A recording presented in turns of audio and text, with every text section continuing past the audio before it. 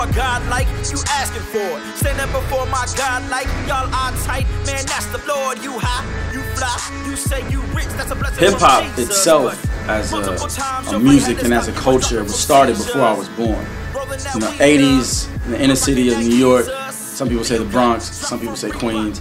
I'm from Queens, so I tend to try to give them some credit. But that's neither here nor there. The point is, it was started by inner city people who were trying to share what was going on in their neighborhoods, have a good time at a party, and use their skills and the, the tools that were around them to make good music. They would take turntables and they would loop jazz records, find the, the best section of the drum break or the musical breakdown, and then they would make up poetry over that. And they would do that at the parties just to have a good time and escape some of the ills and the pains that were going on in the community around them.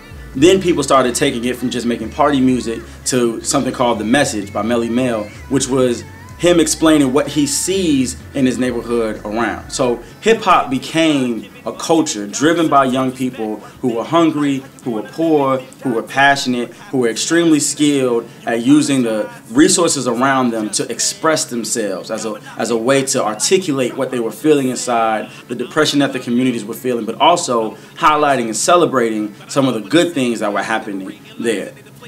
Within that culture, or using hip hop as a culture, a lot of kids were raised at, with hip hop as the music that they listened to, the way that they dressed, the way that they communicated.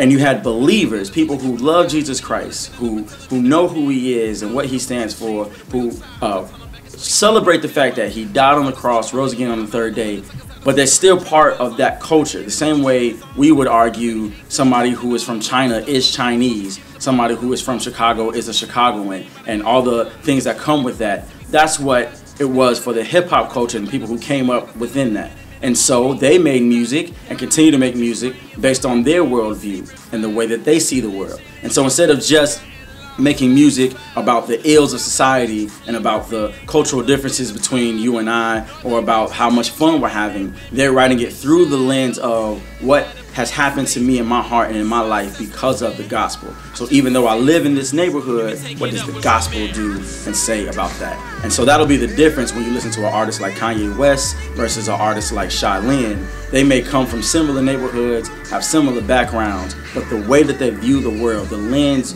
that they articulate their life through is through the gospel in Shai Linne's case. And so he'll sound very different than Kanye West or Jay-Z or somebody like that.